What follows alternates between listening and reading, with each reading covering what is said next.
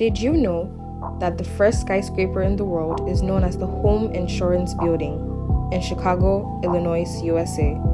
It was completed in 1885 and designed by architect William LeBaron Jenney.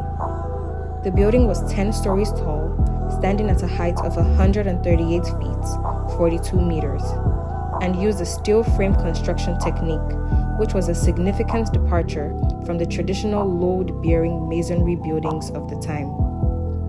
The home insurance building was demolished in 1931 to make way for a new building, but its legacy as the world's first skyscraper lives on. Don't forget to follow, like, comment, and put on your post notifications for more real estate facts.